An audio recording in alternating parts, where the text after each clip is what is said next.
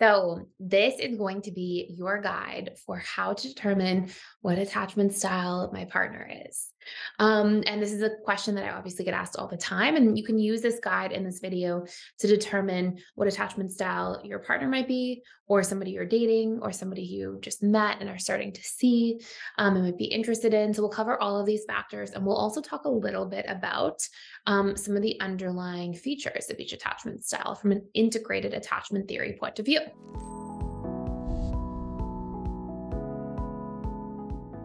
So, if you're not already familiar, there are four main attachment styles. The first one is the securely attached style, and it is the only secure style.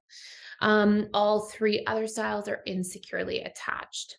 And the securely attached style essentially has a lot of stability in relationships. They tend to be more likely to have lasting relationships. They tend to have more harmony and less explosive arguments in relationships. They tend to feel comfortable expressing themselves, communicating openly. They tend to be really good at being there for other people, but not in a codependent way where they take on everybody's responsibilities and make them theirs, but in a healthy, stable way where they're able to give advice, give feedback, be there, but not at the expense of themselves. They make room for their own needs, their own boundaries simultaneously within the relationship dynamic. So you'll see the securely attached person, they tend to be reliable, they tend to be consistent, they tend to have harmonious, successful relationships, they tend to connect deeply to others, but they also have a strong sense of self and they tend to have a lot more balance across the different seven areas of their life. So they will have, you know, um, a good balance in terms of their friendships, their family relationships, their their romantic relationships. But then, um, you know, they tend to have a good balance with their career, their financial area of life, mental, emotional, spiritual, like all the different physical areas of life.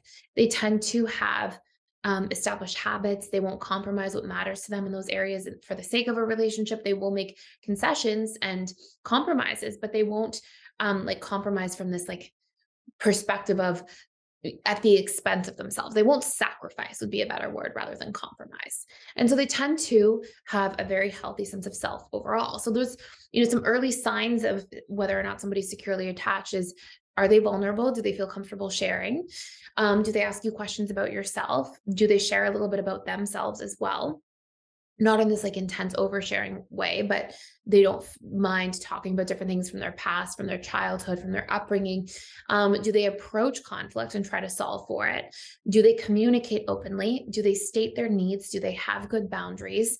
Um, and are they pretty emotionally regulated on an ongoing basis and pretty consistent and you know healthily easy to predict. They can still be fun and spontaneous and exciting but you won't constantly feel like there's this extreme hot and cold or confusion about their interests.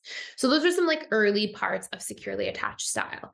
By the way we have a free attachment style quiz. You can take down below if you want to do a deep dive. Um, the next style of relationship um, is our anxious preoccupied. And our anxious preoccupied attachment style grows up in some kind of home where there's a lot of inconsistency that leads to either real or perceived abandonment.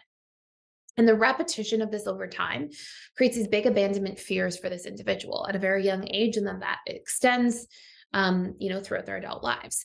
So the anxious attachment style is very preoccupied um, with trying to maintain proximity and closeness to others. They really don't like distance. They tend to be really attuned to if there's any change in the pattern with their partner. And they tend to worry that this means the worst. This means abandonment, the relationship's ending, it's over, the person's going to reject them or is no longer interested in them. And they tend to suffer from this space of always trying to people please and become good enough for somebody else when in reality, they're actually suffering from these I am not good enough core wounds beneath the surface.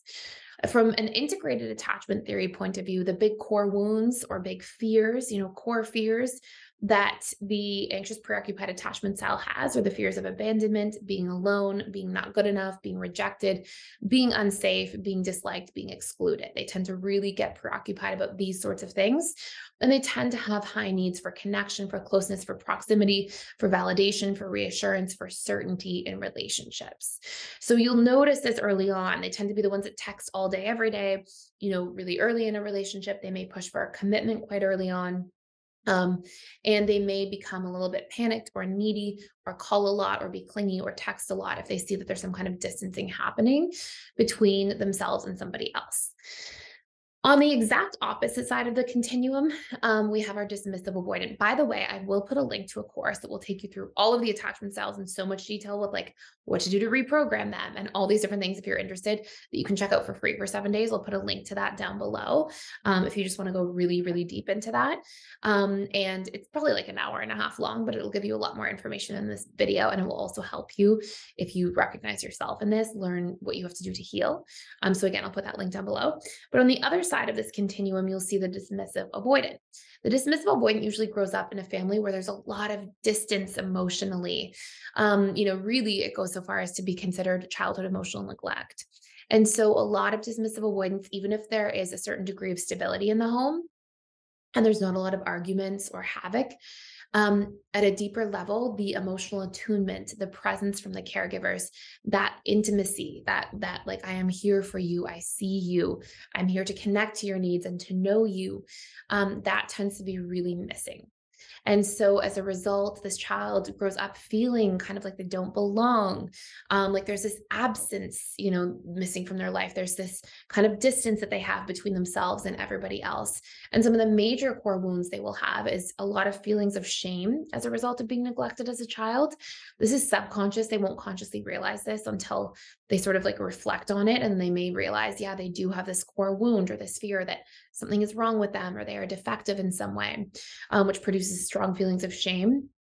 They may also really struggle to feel safe. They they easily avoid conflict and fear conflict in relationships, um, and they can often feel like they don't belong or they are not good enough, and they really fear being trapped, helpless, and powerless. Again, all according to integrated attachment theory.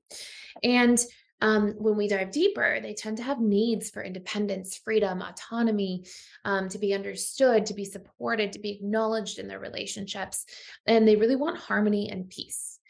And, you know, early on, dismissive avoidants, a really easy way to recognize them is that they can be charming and very charismatic, but they won't be vulnerable. Like you won't really hear them talk about their feelings or their emotions or their more personal memories. They'll have this air of kind of like this slight distance that they're always trying to keep people at that's sort of hard to break down, kind of like a nut that won't crack. Um, and so these are some early signs of the dismissive avoidant attachment style. And then last but not least, we have the fearful avoidant attachment style. And I always like to leave this one for last because they really contain both sides of the anxious and the avoidant but essentially the fearful avoidant tends to um, grow up with a lot more trauma a lot more chaos in the home. Um, and so it could be that there was a bad divorce or it could be that there was um, you know a lot of struggles with one parent having an addiction issue or um, a personality disorder or you know just going through really really challenging things um, or you grew up in an era or culture where there's a lot of trauma in your society like anything where there's substantial confusion and having to walk on eggshells is most likely to create a fearful avoidant attachment style.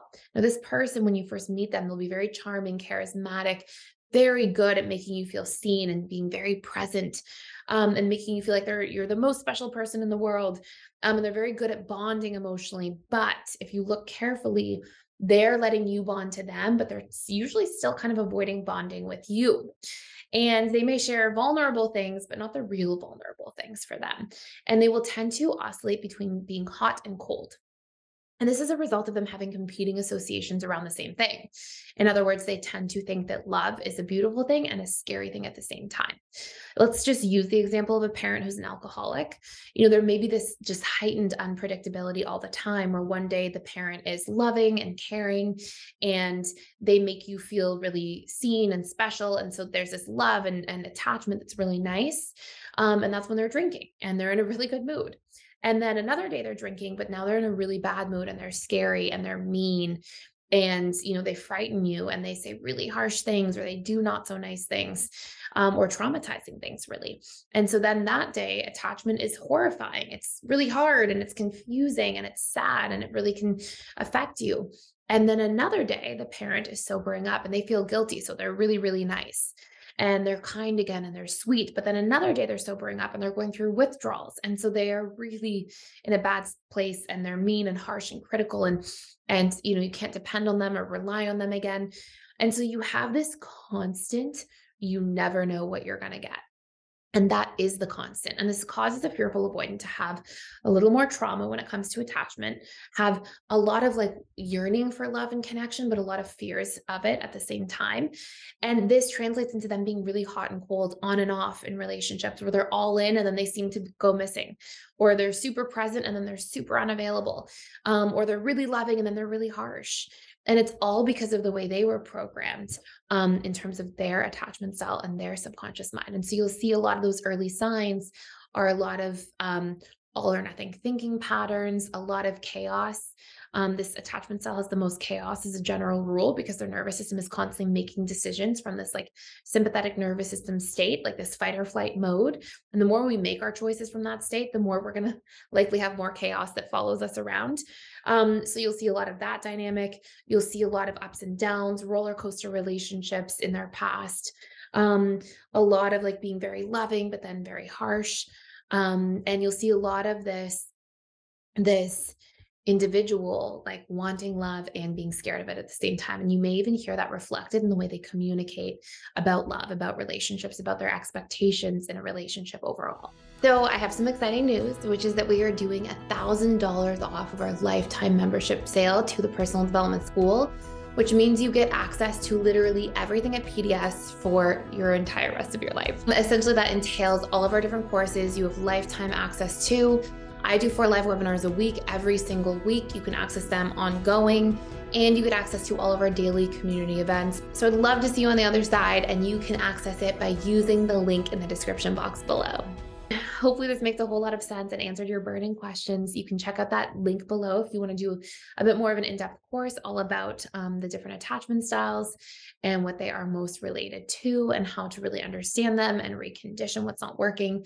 Um, and I hope you enjoyed this. If you enjoyed this video, please consider subscribing to this channel. I put literally daily videos out every single day, seven days a week for you um, to learn more about your attachment style from an integrated attachment theory point of view, your subconscious mind, your core wounds, your needs, relationships overall, so that you can grow and heal and really have the love you finally deserve in the relationship to yourself first, that then translates into your relationships with others. So I hope you enjoyed this.